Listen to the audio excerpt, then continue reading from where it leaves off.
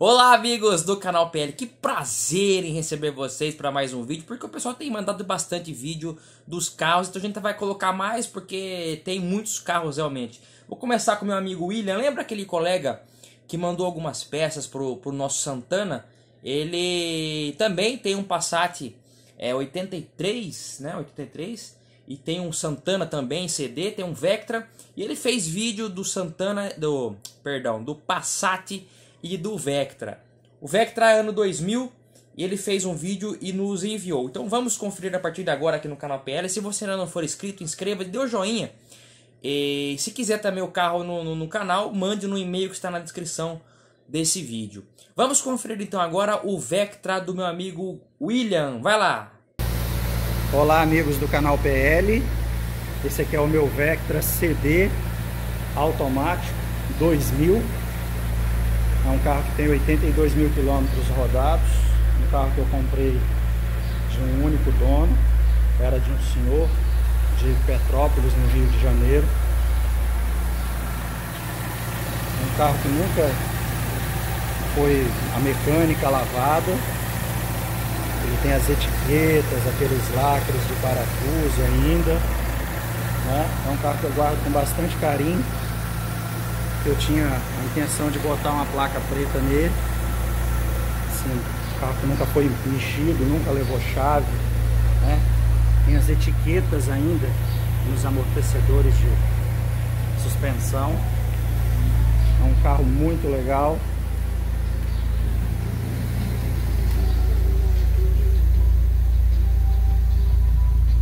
Aqui a gente tem uma fita cassete rodando um carro que a gente pode falar que realmente ele está impecável. Toda vez que ele vai à concessionária fazer revisão, o pessoal fica encantado com ele. Da época que a Chevrolet fazia uns carros diferenciados, né? A gente tem saudade da Opel e aí esse carro eu guardei com essa intenção de preservar porque a gente vê muito dos Vectras eles sendo destruídos.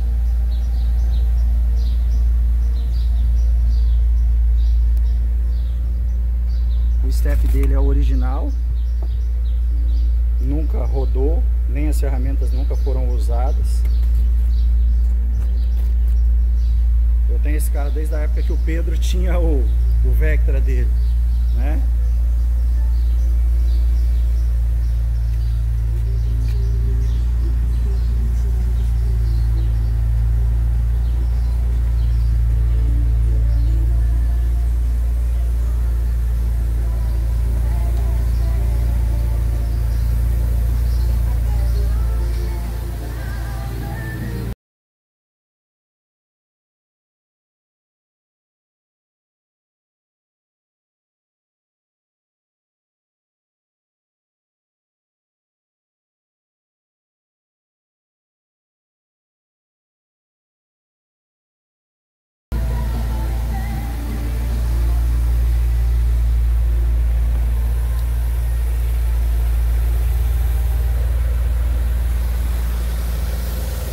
É isso aí.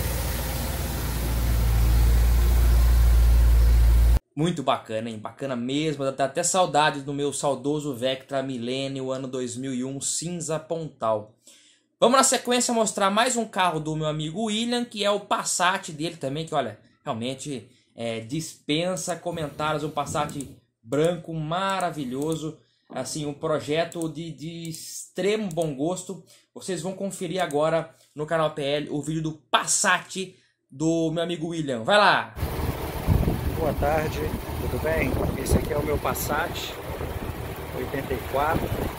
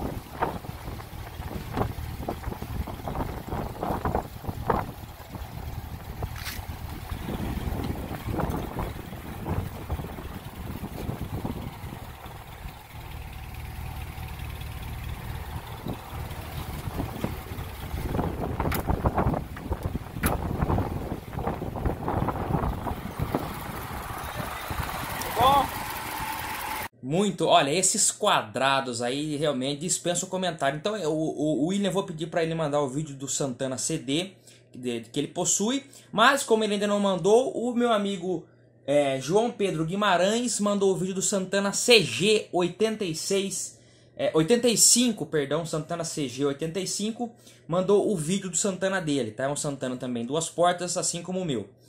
É, vamos conferir então agora o último vídeo de hoje, que é o vídeo do Santana CG 85. Roda! Olá amigos do canal PL, me chamo João Pedro e esse é o meu Santana CG 1985 1.8 álcool.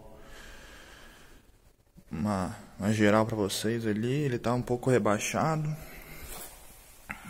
Ó, essas rodas BBS 17 dá um charme legal para ele.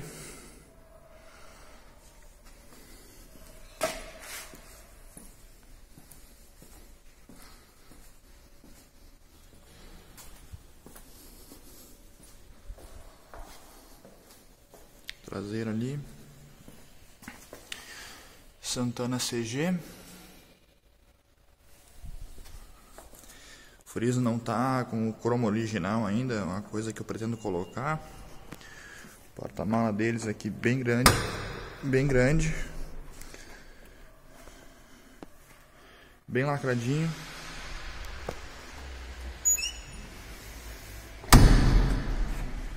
Comprei esse carro faz pouco tempo, então tem bastante coisa ainda pra fazer, né? Mas é meu xodó. Aí, ó. Forro de porta original, 85. Pode ver que não tem nenhum furo de alto-falante. O alto-falante dele ainda é original. Essa caixinha aqui, esse quadradinho. Friso de, de forro de porta original. Ainda bem, bem conservado. Aqui por dentro. Pode dar uma olhada, olha só. Tabelier dele, nada de trincado. Isso é uma coisa bem rara de encontrar. Né? Normalmente os primeiros donos deixam muito esse carro no sol, então o tabelier acaba rachando. Esse aqui não, tá bem íntegro. O volante original dele também. Adoro esse volante bem de época, né? Anos 80. Ele tá sem o rádio ali. Na verdade, ele veio com um rádio Bluetooth, né? Eu quero colocar um rádio mais de época, um toca-fitas talvez. Meu sonho é colocar um Bosch Rio de Janeiro, né? Não sei se eu vou conseguir encontrar. Talvez o rádio seja mais caro que o carro. Mas o suporte está ali. Todos os botões funcionando, ali pisca-alerta, uh, aqui injeção de gasolina, desembaçador, né? O, o, painel também original, ele tem o luz do afogador que é, que é álcool, né? Na verdade o gasolina também vinha, só que álcool é mais preciso usar o afogador, né? Ali, ó, tabelier íntegro. Porta-luvas também. Ambos os forros de porta são íntegros, né? Tá um pouco escuro aqui por causa da garagem, mas... Ó, ambos os forros de porta são íntegros. Esse carro é cupê, duas portas. Então, o banco de trás, cara, tá novo, bicho. Acho que muito pouco foi sentado aqui atrás, né? Aqui em cima também, todas as alças PQPs acompanham o carro da época que a alça PQP não vinha como opcional. Então, alça PQP para os três ocupantes, para os três passageiros, mais o motorista, tem uma luz de cortesia aqui para o motorista. Anteninha, no caso, é, ela levantava, né? Agora acho que já está tá estragada e é difícil conseguir um motorzinho para ela, então eu vou deixar assim, né? Melhor levantada que baixada. Infelizmente o para-brisa trincou, né? Uma pena, esse para-brisa original de 85, né? Tem até o logo da, da Volks ali, da, da Audi, né? Da, e da Volks. Se eu consigo focar, focou ali. Mas vou ter que trocar por um paralelo, né? Tem que, tem que continuar rodando. E é isso aí, cara. Esse aqui é meu xodó. Esse aqui é a minha chavezinha dele. Ele tá pegando bem, cara. Apesar de ser álcool, ele tá pegando bem, bicho. Só puxar o afogador agora, dar uns segundos, ele já, já tá pronto pra sair, bicho. Dá mais uma, uma bizuiada na parte de fora.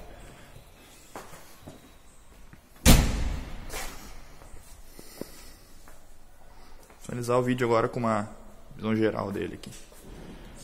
Pois é, pessoal, olha, é um, pra mim é um prazer poder mostrar esses, esses carros para vocês, exibir o canal do, carros dos amigos, porque infelizmente por questões de distância não dá para estar tá exibindo o carro de todo mundo presencialmente, né? Seria um prazer poder filmar esses carros ah, de perto realmente, com as nossas próprias lentes, mas devido à distância isso não é possível, então o, o meio que nós achamos, né, agora com a pandemia, a gente tem nos aproximado mais das pessoas de forma virtual, é uma maneira então de exibir os carros e ter uma interação com os nossos inscritos, os nossos amigos.